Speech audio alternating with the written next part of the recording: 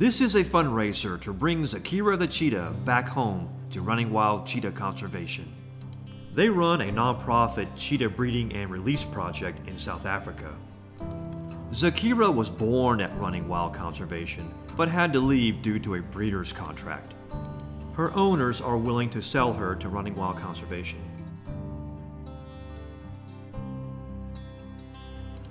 Running Wild's plan for Zakira is to train and release her back into the wild. Her two brothers, Levi and Logan, are at Running Wild now. Zakira, Logan, and Levi were born from cesarean sections from their mother, Kiki. One of these is Zakira. I don't know. But I need to explain a little bit about Kiki first. This is Kiki, a special needs cheetah owned by Running Wild Conservation. Sadly, when she was a cub, her mother sat on her and injured her shoulders. Based on multiple veterinary experts, the damage was irreversible. It's why Kiki is captive and can never be released. But like most animals, they learn to persevere. And she likes to still play.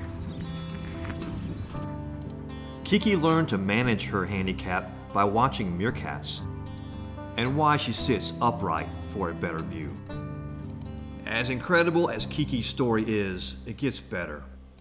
Veterinary experts agreed she could bear cubs if she wanted. Well, Kiki discovered the love connection, and look what happened. Kiki's not fat, she's pregnant. She's three days from giving birth, and there's four cubs in there. When it was time to give birth, Kiki was showing signs of stress. One of the cubs was breached and pointing in the wrong direction in the birth canal, tail first. An emergency cesarean section was ordered to save Kiki and her cubs. Before surgery, the all important colostrum was collected from Kiki's nipples. Colostrum is an incredibly important compound produced by expecting mothers days before and after giving birth. It contains antibodies to fight infections, as well as growth hormone and probiotics to help kickstart the digestive system. Sadly, the cub caught in the birth canal died.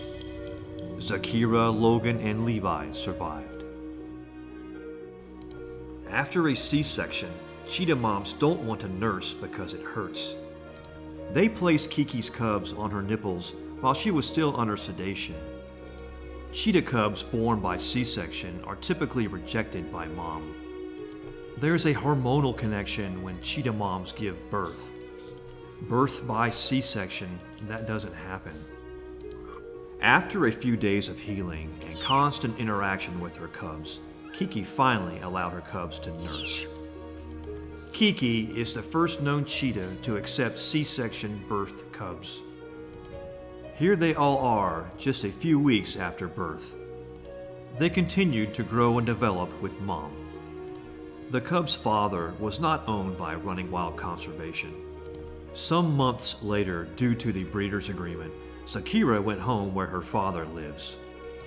Two years later, Zakira's owners have agreed to sell her to Running Wild Conservation. Thus, the purpose of this fundraiser to help Running Wild Conservation purchase Zakira. The sole purpose for getting Zakira back is to breed her once and release her back into the wild.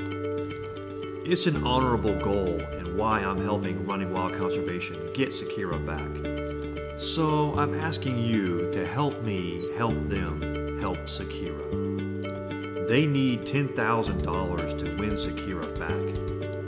I've offered 100% of my online fundraising efforts to reach this goal.